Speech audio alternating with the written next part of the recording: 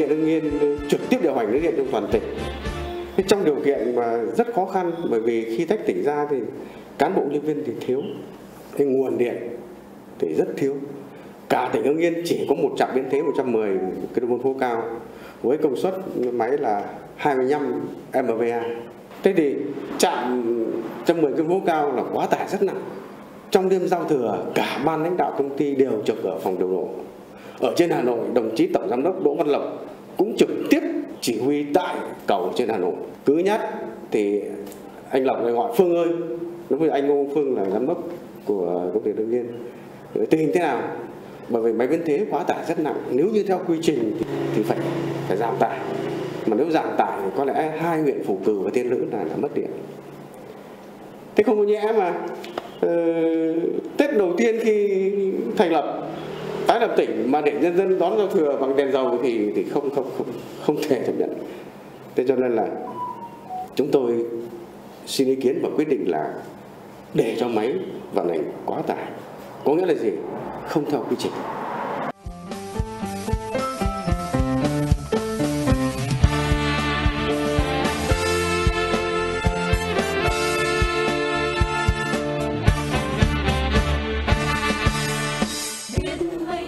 Đình Côi, người đã có nhiều công hiến đóng góp trong xây dựng nền móng cho ngành điện Hưng Yên. Ông đã vinh dự được Chủ tịch nước tặng thưởng huân chương lao động hạng 3 và Thủ tướng Chính phủ tặng bằng khen vì có thành tích xuất sắc trong công tác. Nghỉ hưu đã trên 10 năm, nhưng với ông Côi, những thông tin về ngành, ông luôn nhớ đến từng chi tiết. Chính vì vậy, mỗi khi có dịp ngồi trò chuyện với thế hệ trẻ của ngành, ông Côi thường say sưa kể về những kỷ niệm thời còn công tác, trong đó kỷ niệm sâu sắc khiến ông không bao giờ quên như câu chuyện cho vận hành trạm biến áp phố cao quá tải, trạm 110 kV duy nhất của Hưng Yên lúc đó để nhân dân đón cái Tết đầu tiên không phải thắp đèn dầu. 25 năm với nhiều sự đổi thay, phát triển và chất lượng dịch vụ điện của Hưng Yên cũng thay đổi hàng ngày, được nhân dân ghi nhận. có hai trạm biến thế đó giờ nói đúng ăn chứ mình cái hai trạm biến thế mà đến bây giờ mình 14 15 trạm rồi. Gia đình tôi là cũng chuyển à, sang sử dụng nói chung là điện nhiều hơn. À, ví dụ như là đun nước và sử dụng bếp từ trong cái sinh hoạt điện là khỏe tương đối là ổn định và giá cả thì hợp lý cũng đảm bảo an toàn. Công ty kết cấu thép Hưng Yên đi vào hoạt động đã 17 năm thì cũng từng ấy thời gian đơn vị dùng điện là năng lượng chính để phục vụ sản xuất. Công tác phục vụ và cung cấp điện cho đơn vị chúng tôi rất là đảm bảo. Về những các dịch vụ khác, ví dụ như bảo hành, bảo trì và vận hành cái à, trạm biến ép chúng tôi đã ký hợp đồng với cả chi nhánh điện lực Mỹ Hào. Và các anh thường xuyên hàng năm định kỳ xuống bảo dưỡng bảo trì với công ty cổ phần kính an toàn Việt Nhật đóng trên địa bàn Mỹ Hào, khi nhận được câu hỏi tương tự về chất lượng dịch vụ điện thì không chỉ đại diện lãnh đạo doanh nghiệp mà cả cán bộ phụ trách điện cơ của đơn vị đều có những nhận xét đánh giá rất tốt về các dịch vụ từ điện lực Mỹ Hào. Trong những năm qua, doanh nghiệp chúng tôi đã được công ty điện lực Hưng Yên mà trực tiếp là điện lực Mỹ Hào đã cung cấp nguồn điện ổn định, an toàn, liên tục, đảm bảo các thông số kỹ thuật theo chưa trong hợp đồng. Trong quá trình phối hợp giữa điện lực ờ, Mỹ Hào nói riêng và điện lực Hưng Yên nói chung thì sự phối hợp để xử lý là rất tốt về tình trạng là như là lịch báo cắt điện và lịch bảo dưỡng định kỳ các thiết bị của máy biến áp để vận hành ờ, các thiết bị điện được tốt ạ. Là siêu thị đứng chân tại khu vực trung tâm thành phố Hưng Yên đi vào hoạt động chưa được 2 năm nhưng siêu thị điện máy xanh Hưng Yên đã nhận được sự quan tâm đặc biệt từ điện lực thành phố Hưng Yên. Điện tại Hưng Yên mình và thành phố của mình nói chung là rất là tốt luôn luôn tạo điều kiện cho doanh nghiệp thực hiện đúng theo hợp đồng của ờ, công ty với cả điện lực tạo điều kiện cho chấp hành đầy đủ bên ờ, điều khoản và hợp đồng giữa hai bên như là đóng tiền điện là cung, cung ứng điện và khi mất điện sẽ báo trước cho siêu thị được biết để mình có cái hoạt động tốt hơn. Cơ quan của chúng tôi thì vẫn đang thanh toán điện qua thanh toán điện tử từ rất lâu rồi, rất là nhanh gọn nhẹ. Với nỗ lực của toàn ngành, điện năng phục vụ sản xuất và sinh hoạt luôn được đáp ứng đầy đủ. Ngành điện lực Hưng Yên đã không ngừng lớn mạnh và luôn hoàn thành xuất sắc nhiệm vụ được giao. Đến năm 2022, toàn ngành vận hành 3 trạm biến áp 220 kV, công suất 1.500 MVA 16 trạm biến áp 110 kV, công suất 1.947 MVA, với 4.185 trạm biến áp phân phối, tổng công suất gần 2 triệu 840.000 kVA. Vận hành trên 9.000 km đường dây tải điện các loại, trong đó đường dây trung thế là trên 2.100 km, hạ thế là 6.900 km. Đến nay thì có 7 khu công nghiệp trên địa bàn tỉnh đang hoạt động.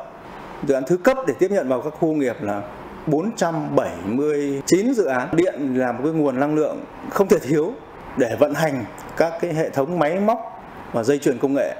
để các doanh nghiệp sản xuất tạo ra những giá trị của các doanh nghiệp. Thế do vậy thì vai trò của Điện lực Hưng Yên là rất quan trọng đối với việc phát triển công nghiệp cũng như là phát triển kinh tế trên địa bàn tỉnh. Điện lực Hưng Yên cũng đã rất tích cực để liên tục đầu tư xây dựng hạ tầng cung cấp điện cho các cái doanh nghiệp. Qua đó cũng đã tạo một cái niềm tin cho các cái doanh nghiệp được thu hút vào tỉnh và cũng là một cái tiêu chí quan trọng để thu hút các cái nhà đầu tư tiếp theo. 25 năm xây dựng và trưởng thành, công ty điện lực Hưng Yên đã phát triển cả về chiều sâu, chiều rộng trong mọi mặt công tác. Tôi cũng đánh giá rất cao tinh thần của cán bộ cũng như công nhân của công ty điện lực Hưng Yên trong 25 năm qua. Trong giai đoạn tới, để đáp ứng được cái mục tiêu phát triển của ngành điện cũng như đáp ứng được cái mục tiêu phát triển kinh tế xã hội của tỉnh Hưng Yên trong giai đoạn tới đặt ra cho công ty điện lực Hưng Yên có nhiều các cái khó khăn, thách thức. Tuy nhiên, tôi luôn tin tưởng rằng phát huy cái truyền thống vẻ vang của ngành điện,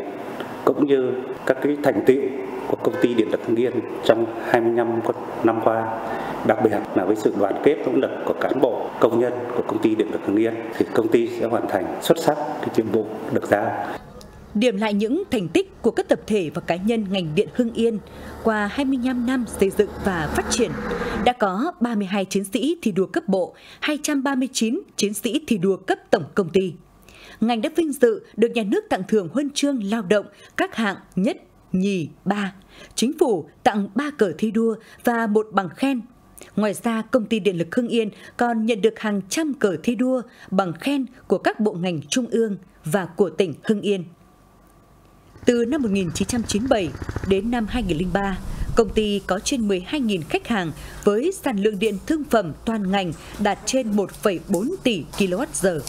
Sau 25 năm, toàn ngành đã phát triển được thêm 445.000 khách hàng. Qua đó, điện thương phẩm giai đoạn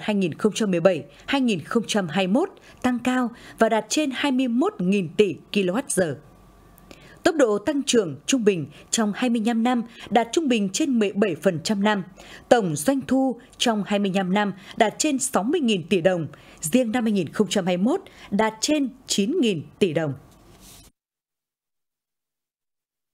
10 năm qua thì tốc độ tăng trưởng phụ tải của công ty điện lực Hưng Yên cũng như là điện lực Văn Lâm luôn đạt à, hai con số. Đặc biệt là trong năm 2021, à, mặc dù ảnh hưởng bởi dịch bệnh Covid-19, điện thương phẩm của điện lực Văn Lâm đã đạt 1 tỷ 674 triệu kWh. Công tác quản lý kỹ thuật vận hành thì chúng tôi đề ra những chương trình giảm sự cố lưới điện, chương trình nâng cao độ tin cậy cung cấp điện và chúng tôi đã thực hiện tốt những nội dung chương trình đề ra, đặc biệt là trong cái công tác ứng dụng các khoa học công nghệ hiện đại và trong cái công tác quản lý vận hành để làm sao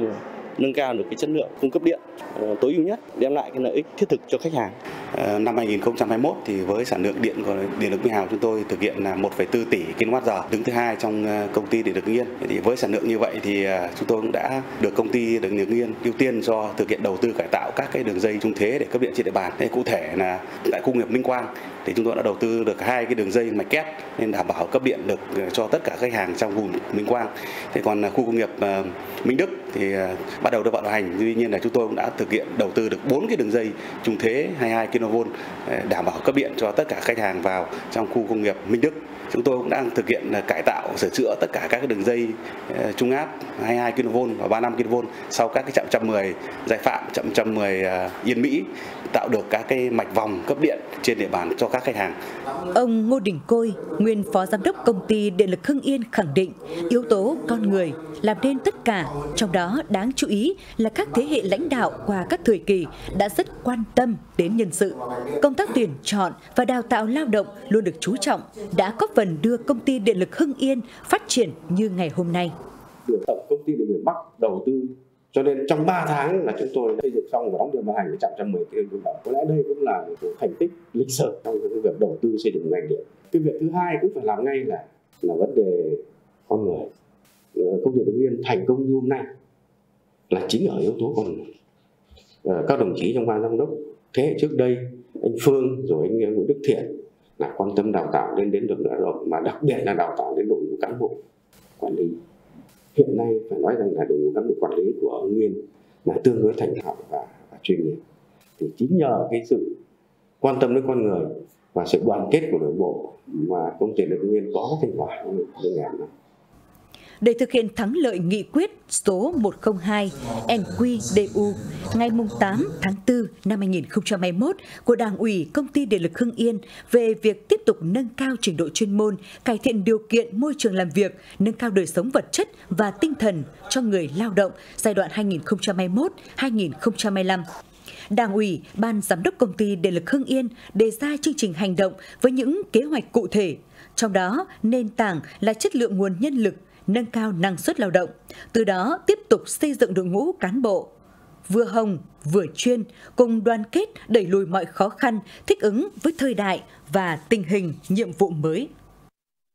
Để thực hiện thắng lợi nghị quyết Đại hội Đảng bộ tỉnh Hưng Yên khóa 19, công ty Điện lực Hưng Yên đầu năm 2021 đã xây dựng kế hoạch sản xuất kinh doanh 5 năm 2021-2025. Đến năm 2021, sản lượng điện thương phẩm của công ty Điện lực Hưng Yên đứng thứ 12 trong toàn quốc và chỉ số về điện thành phần ờ, công nghiệp xây dựng đã chiếm tỷ trọng 75,8%. Và trong thời gian tới, công ty Điện lực Hưng Yên sẽ bám sát cái đề án phát triển điện lực tỉnh Hưng Yên đã được phê duyệt và trọng tâm là phát triển nguồn điện và lưới điện là các trạm 220 kV và trạm 110 kV trên địa bàn tỉnh để tập trung cấp điện an toàn và ổn định cho các khu công nghiệp hiện hữu của tỉnh và những khu công nghiệp xây dựng mới. Ngoài ra, công ty Điện lực Yên sẽ tiếp tục phối hợp với các cơ quan liên quan để đào tạo, nâng cao trình độ chuyên môn của cán bộ công nhân viên Điện lực Yên để đáp ứng yêu cầu và nhiệm vụ trong thời gian tới, thực hiện thắng lợi chỉ đạo của Tổng ty Điện lực miền Bắc về ứng dụng khoa học công nghệ và chuyển đổi số và phấn đấu đến năm 2022 sẽ hoàn thành cơ bản về công tác chuyển đổi số trong tất cả các lĩnh vực kinh doanh, tài chính kế toán, quản lý kỹ thuật vận hành, an toàn lao động và đầu tư dựng để nâng cao hiệu quả trong điều hành sản xuất kinh doanh. Và trong thời gian tới cũng tiếp tục là tranh thủ sự ủng hộ của Tập đoàn Điện lực Việt Nam, Tổng ty Điện lực miền Bắc để thu hút các vốn đầu tư về phát triển lưới điện để đáp ứng nhu cầu ngày càng tăng cao của các khách hàng sử dụng điện trên địa bàn tỉnh và cũng tiếp tục là tranh thủ sự ủng hộ của các cấp chính quyền địa phương, của tỉnh nhà trong công tác là giải phóng mặt bằng để triển khai các dự án điện. Đặc biệt là các dự án là trọng điểm của tập đoàn điện lực Việt Nam và tổng ty điện lực Việt Nam triển khai trên địa bàn. Và các dự án là chống quá tải, lưới điện mà tổng ty điện lực miền Bắc là đầu tư cho tỉnh Hưng Yên trong các năm 25 năm với sự đoàn kết, sáng tạo, sự nỗ lực ý chí, quyết tâm thực hiện thắng lợi mọi nhiệm vụ kế hoạch đề ra. Công ty Điện lực Hưng Yên đã được Đảng, Nhà nước, được các cấp các ngành ghi nhận.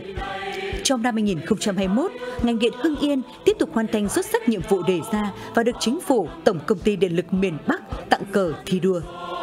Đặc biệt, đây cũng là năm đầu tiên thực hiện nghị quyết Đảng bộ tỉnh, công ty Điện lực Hưng Yên đã phấn đấu cấp điện sớm cho khu công nghiệp Minh Đức, khu công nghiệp Minh Quang và một số khu đô thị trên địa bàn thị xã Mỹ Hào và huyện Văn Giang. Qua đó, góp phần đưa Hưng Yên sớm trở thành tỉnh công nghiệp.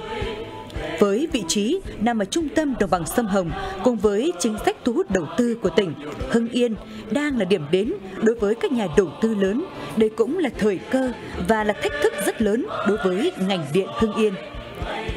Năm 2017, Hưng Yên là tỉnh tự cân đối ngân sách có một phần điều tiết về trung ương. Năm 2022, Hưng Yên là một trong ba tỉnh thành trong cả nước hoàn thành chương trình mục tiêu quốc gia về xây dựng nông thôn mới. Năm 2021, tỉnh Hưng Yên tiếp tục được Thủ tướng Chính phủ quyết định chủ trương đầu tư thêm 4 khu công nghiệp. Trong đó có 5 dự án được Thủ tướng Chính phủ cấp quyết định chấp thuận chủ trương đầu tư. 4 dự án được Ủy ban Nhân dân tỉnh cấp quyết định chấp thuận chủ trương đầu tư và các dự án đầu tư khác với tổng số vốn đăng ký khoảng 6 tỷ đô la Mỹ. Ủy ban Nhân dân tỉnh Hưng Yên ký bản ghi nhớ hợp tác hai nhà đầu tư nước ngoài. Đây là năm có vốn thu hút đầu tư cao nhất của tỉnh từ khi tái lập. nâng tổng lên 15 khu công nghiệp và 19 cụm công nghiệp rời, qua đó góp phần đưa tỷ trọng công nghiệp của tỉnh lên trên 65% trong cơ cấu kinh tế. Với lĩnh vực của tỉnh, ngành điện Hưng Yên giữ vai trò quan trọng, vì vậy luôn luôn được các cấp lãnh đạo tỉnh đặc biệt quan tâm và chỉ đạo sâu sát trong hoạt động của mình. Có được kết quả đó có sự đóng góp rất quan trọng của công ty điện lực Hưng Yên. Với truyền thống đoàn kết, nỗ lực luôn vượt qua mọi khó khăn, hy vọng rằng với sự chung tay quyết tâm cao của cả hệ thống chính trị, tinh thần đoàn kết sáng tạo và trách nhiệm của tập thể người lao động toàn công ty, Công ty Điện lực Hưng Yên sẽ vượt qua mọi khó khăn, hoàn thành xuất sắc nhiệm vụ chính trị được giao, giữ vững ngọn cờ đầu của Tổng Công ty Điện lực miền Bắc, góp phần xây dựng quê hương Hưng Yên ngày càng giàu đẹp, văn minh. Người thỏa những ước mơ.